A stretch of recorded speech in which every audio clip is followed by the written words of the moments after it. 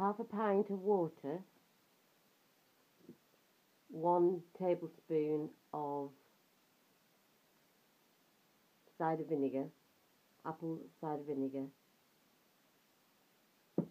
has a lot of benefits for your body. Very, very good.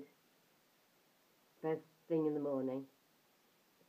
Another one you can do is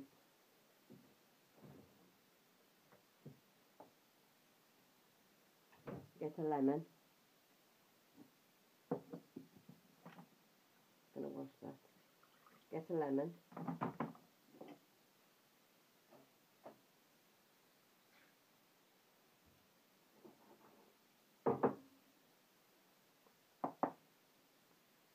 Get a one of these. Put in the lemon.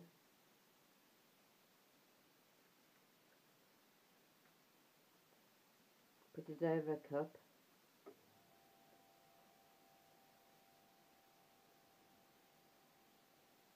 Squeeze as much of the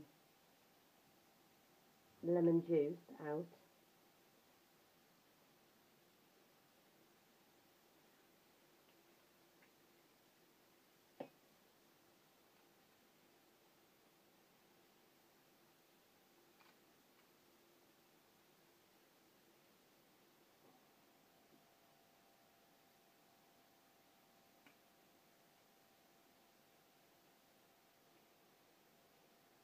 and then add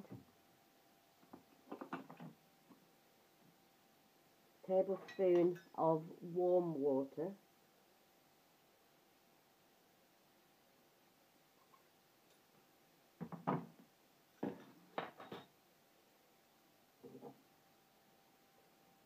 And you make it up to 100 milliliters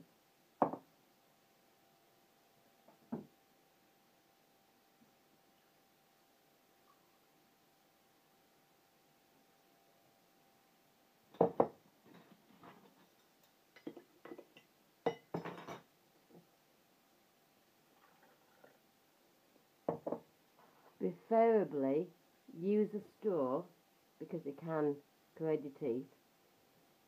And then once you've drank it gargle with a um, your teeth gargling stuff. This is really really good again for breaking up fats. Um, drink it only in the morning don't drink it any other time but drink it straight away because the, the lemon will um, I forgot his name but I will tell you underneath.